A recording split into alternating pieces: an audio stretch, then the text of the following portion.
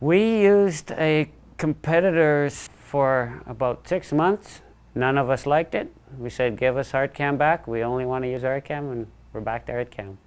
I designed coins and medals, Canadian circulation coins, numismatic coins, decorative medallions. We uh, use ArtCAM solely, and we've been using it uh, since 1998. The 3D sculpting tools were much better. You can do a lot of things so much faster. When it comes to, say, doing a wreath in the past, it all had to be sculpted in its entirety.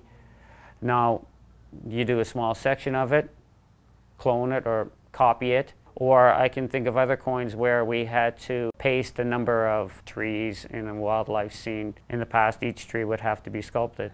Now, we create one, use an envelope distortion tool, bring it to the uh, interactive sculpting, add a bit of bark or leaf structure that's a little different, and you've got a whole new tree.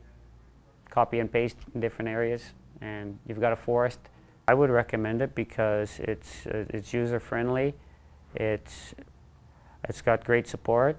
Yeah, it's here in North America, which is great. As ArtCAM keeps making improvements every year, um, we hope to take those improvements and work even that much more effectively.